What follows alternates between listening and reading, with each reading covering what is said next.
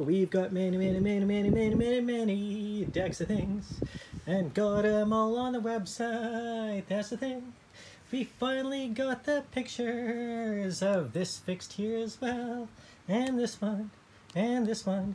And that one, that one, that one, that one, that one, that one, that one, that one, that one, that one, that one, that one. Whichever, we got all of them on the website. Wow!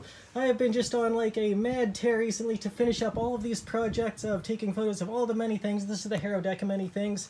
Kind of just uh, the very original, the very original one that I got from like a uh, dollar store up in the paw Canada. And this is kind of just a uh, card copy of the, uh, where are you here? The, the, the main deck of many things. It's somewhere around it. Oh, that thing.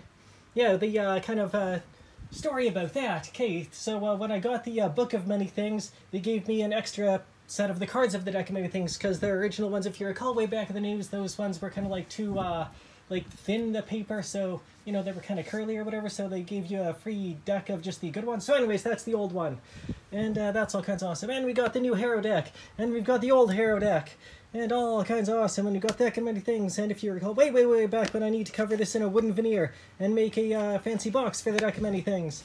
And all kinds of awesome. And let's see what the random adventurer gets here. Huh, huh, huh.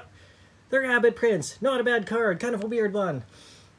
Your crits always do max damage, but so do the enemies, so it's a little bit kind of come see, comes out. one of them 50-50 ones.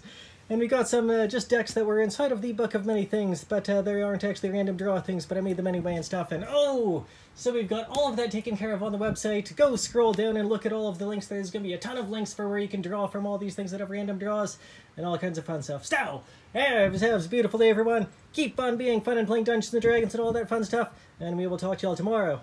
Meow!